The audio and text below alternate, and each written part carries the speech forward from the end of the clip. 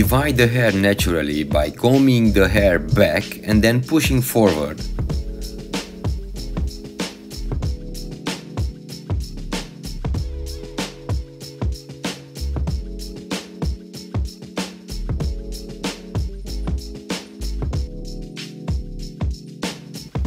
For the first step I'm going to start with the left side of the fringe area.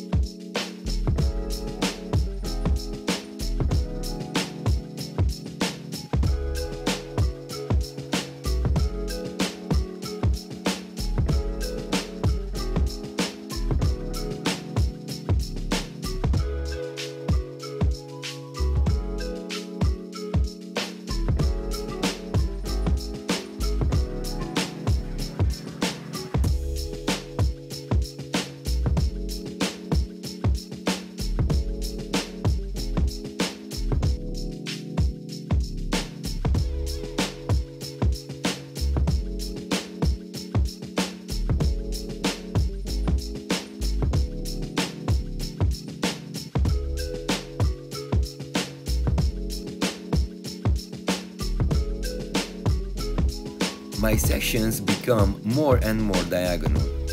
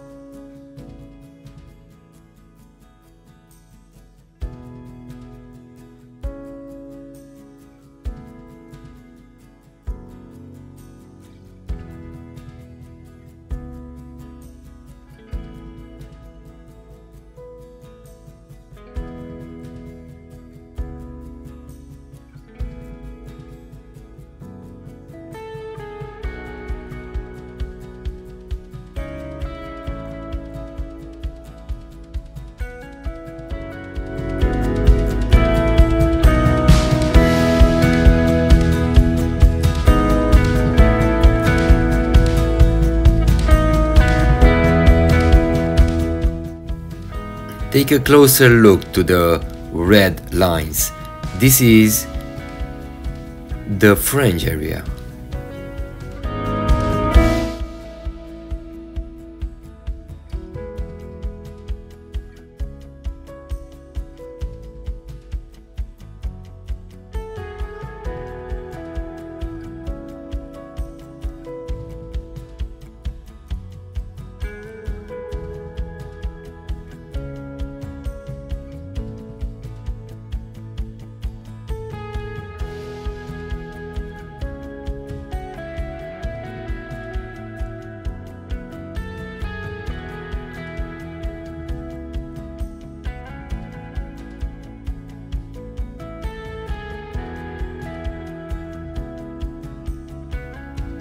By the way, I am not a professional movie editor or sound editor, so this is my voice and uh, I just want to know I'm doing my best to create these movies for you and uh, in the in the meantime the future movies are gonna be better and better with better explanations and so on.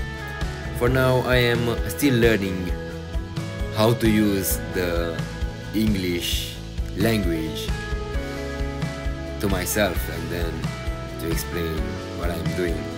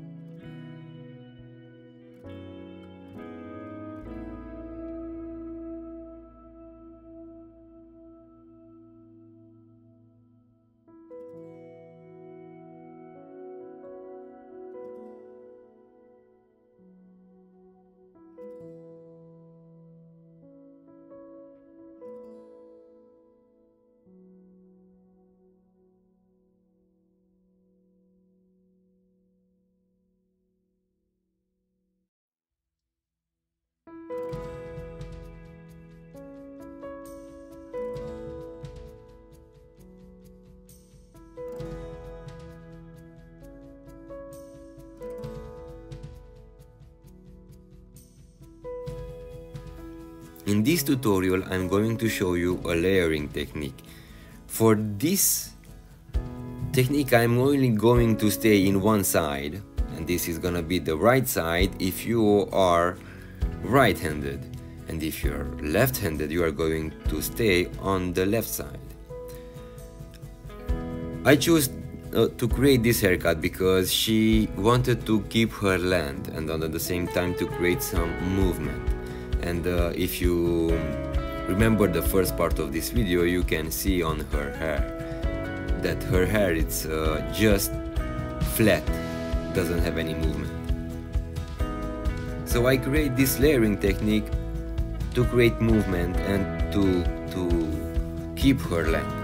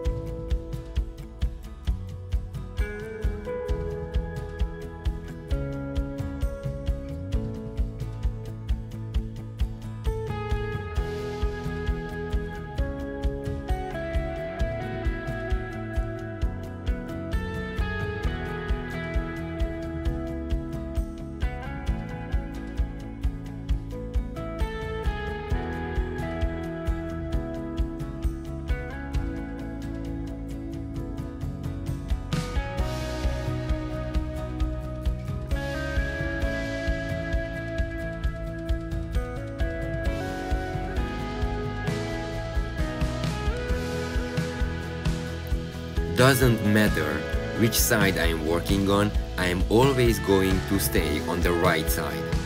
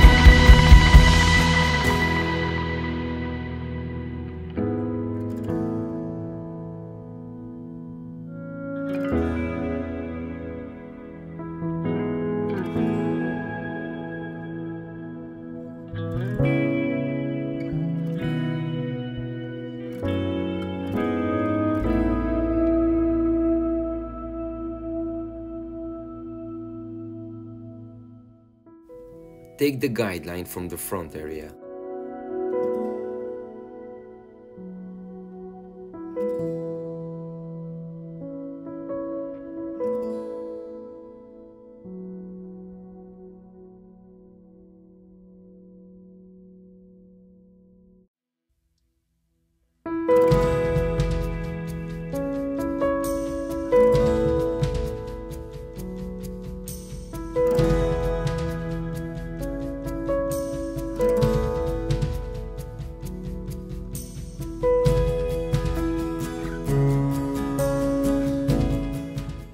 This is the guideline from the front. Connect the back side of the head with the front by using that guideline and continue with the same layering technique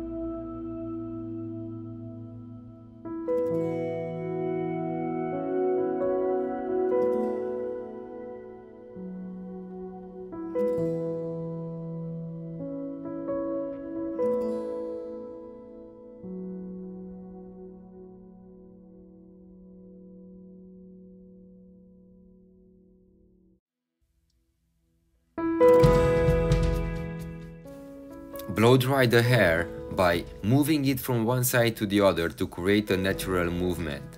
Like that we can refine the edge of the fringe area after it's dried.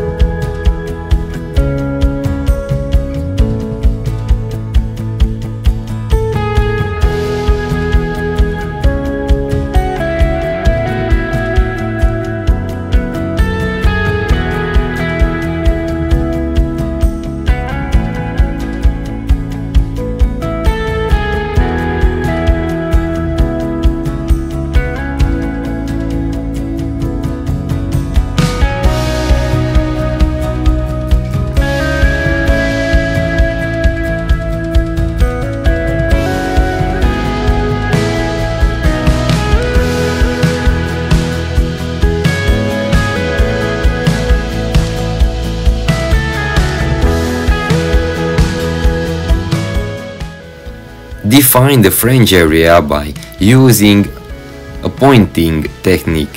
It means using only the edge of your scissors.